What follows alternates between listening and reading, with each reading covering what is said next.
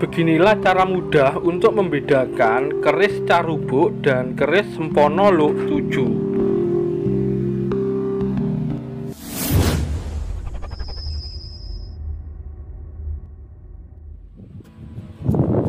Rahayu, Rahayu, Rahayu. Ketemu lagi dengan saya Teddy Wahyono di jalan tempat mengenal keris dan pusaka Nusantara lainnya dengan akal sehat dan hati terbuka.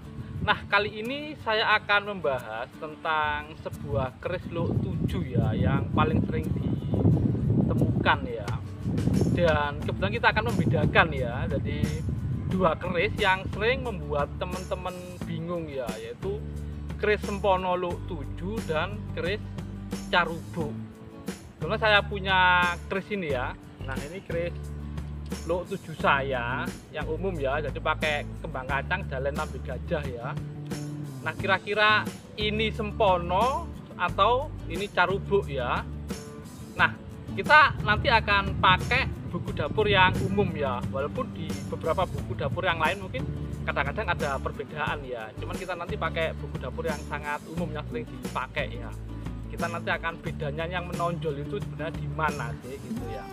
Nah sebelum saya bahas buat teman-teman yang belum subscribe silahkan subscribe dulu biar tidak ketinggalan informasi dari channel ini. Nah ini adalah salah satu keris look 7 saya yang cukup kuno ya dan salah satu pusaka saya juga ya.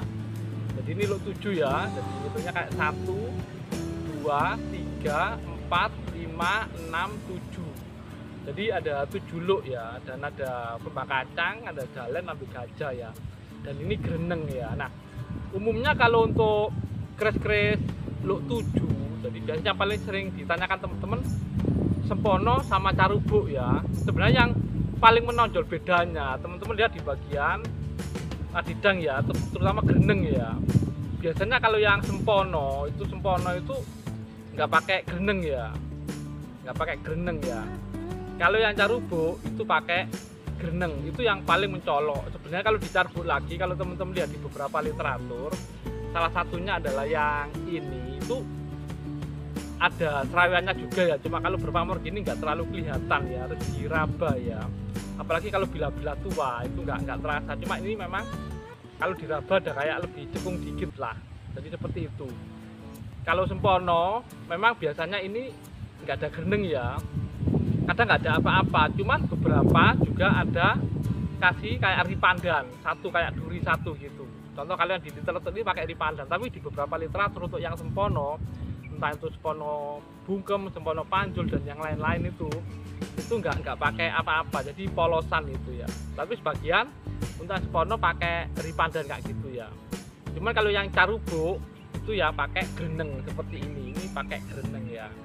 Jadi itu ya sebenarnya ada banyak lo tujuh. Cuman yang umum mungkin teman-teman sering dengar itu yang sempono sama yang carumbo nah sebenarnya itu yang beda yang paling dasar ya yang paling umum ya. Jadi lihat di grenengnya aja ya. Sebenarnya selain greneng sekali lagi carumbo itu pakai serawian nah, nah mungkin itu saja dari saya. Jadi semoga bermanfaat dan jangan lupa untuk like dan subscribe nya Ayuwo mamatuh nalutuh tanpa tuas tanpa kasil kasalibuk ing srabedo marmo dipun ngati-ati. Jangan membiasakan mencela tidak berguna tidak berhasil. Terjerumus oleh godaan maka hendaklah hati-hati